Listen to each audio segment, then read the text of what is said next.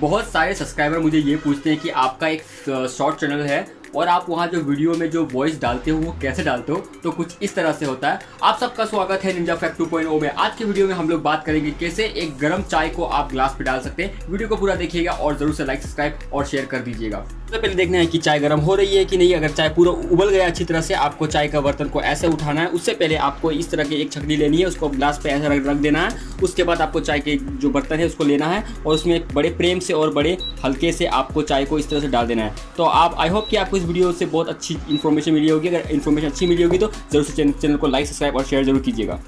कुछ इस तरह से बोलते हैं, काफ़ी रफ्तार से बोलना पड़ता है।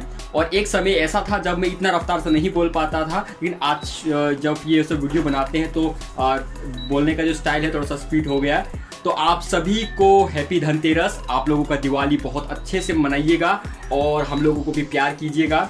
और एक बात, आप सबके प्यार और सपोर्ट से बोले चैनल पे। निंजा फैक्ट 2.0 पे वन के सब्सक्राइबर कंप्लीट हम लोग ने कर दिया है। और आप सब जितने भी निंजा आर्मी है आप सबको दिल से धन्यवाद। और साथ ही में संदीप लाइव ब्लॉग के तरफ़ से भी आप सभी को दिल से धन्यवाद। अभी हमारे घर की काम भी कुछ नहीं हुई है तो आज हम लोग घर को साफ़ करेंगे मिट्टी से ले लेंगे और इसका वीडियो भी आपको आ, मिल जाएगा ज़रूर देखिएगा।